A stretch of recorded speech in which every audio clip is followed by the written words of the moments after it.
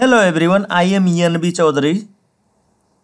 Today I am here to guide you through the exercise assigned in Unit 2 of our English book for class 10, which is titled Battle of Oranges.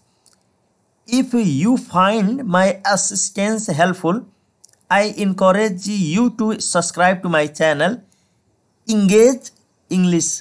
So let's get started. Start exercise A. Match the words with their meaning A कलममा words दिएको छ B कलममा त्यसको meaning दिएको छ. So let just find meaning of words given here mush मसको meaning हुन्छ a sort thick mush or mixture let me highlight okay त्यस्तै jerk दिएको छ बी नम्बरको तपाईँको आन्सर हुन्छ that means is there any okay to make something move with a sudden and short short movement यो B नम्बरको answer भयो। जर्कको लागि दिस वान फाइभ नम्बर भयो। त्यस्तै कन्फ्युसन सी नम्बर नम्बरको आन्सर हो a temporary loss of consciousness त्यस्तै डी नम्बरमा लेखेको छ हर्ल हर्ल भनेको थ्रो यो हुन्छ। हर्ल भनेको throw something violently in a particular direction भनेको छ। अब हामी यी नम्बर हेरौँ। पल्प पल्प भनेको the soft part inside the fruits and vegetables यसलाई पल्प भन्छ। गुदी जसलाई हामी भन्छौँ फ्रुट्सहरूभित्र भएको गुदी त्यो soft part inside the fruits and vegetables हो। त्यस्तै क्लच क्लच भनेको होल्ड गर्नु समात्नु।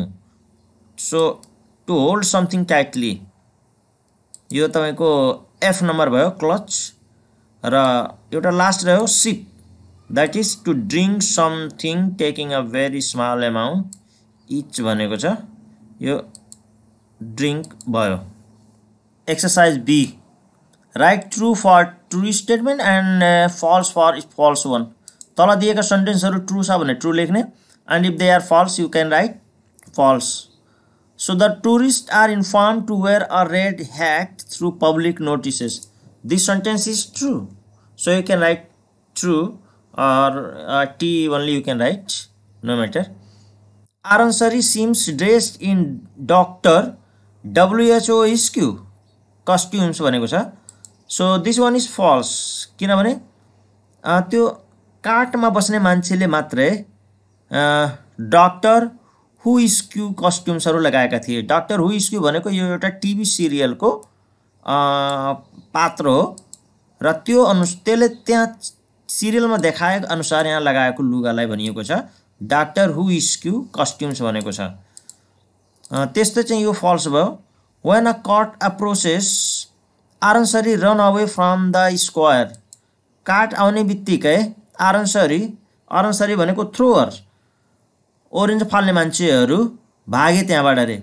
नो उनीहरू भागेका थिएन बरु पछ्याएका थिए।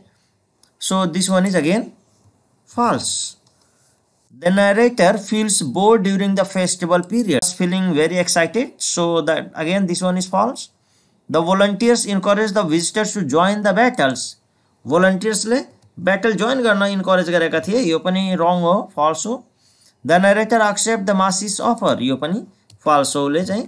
एक्सेप्ट गरेको थिएन। Following question what does the red hat symbolize so the red hat is a symbol of freedom and liberty यसरी हामी लेख्न सक्छौँ। Question number B how does the narrator feel when he wipes his face so you can write answer the narrator feel sick and scared when he wipes his face and finds blood on it now let see C number what does the square look like after an hour battle of the orange एक घन्टाको ब्याटलमा त्यो square त्यो ठाउँ कस्तो देखियो त? जहाँ battle of oranges भइराखेको थियो। Okay so let's see answer the square is covered in a mixture of orange pulp pulp भनेको हामी बुझ्यौँ ओरेन्जभित्र भएको गुदीको भागलाई पल्प भनिएको छ। And horse manure horse manure भनेको हर्सको टोइलेटलाई यहाँ भनिएको छ। Creating a thick slop that smell sharp sweet and sour slug भनेको अब त्यो फोहोर फोहोरहरूलाई यहाँ स्लग भनिएको छ। द्याट स्मेल्स जसबाट स्मेलहरू आइराखेको थियो sharp sweet and sour question number D भनौँ। How do Aranceri may members chase the cart Aranceri मेम्बरहरूले त्यो कार्टलाई कसरी लखेटेका थिए च्यास गरेका थिए? arrosary members Chase the cart on foot, hurling oranges at it. Does Sylvia enjoy this carnival? Why? Yes, Sylvia enjoys this carnival. She thinks it is good for psychological health as it allows people to let out their frustration and feel refreshed afterwards. F number. Why does Masi say forget nets? Masi says forget the nets because he believes that to truly experience the carnival, one must be in the middle of the battle and not behind the protective nets.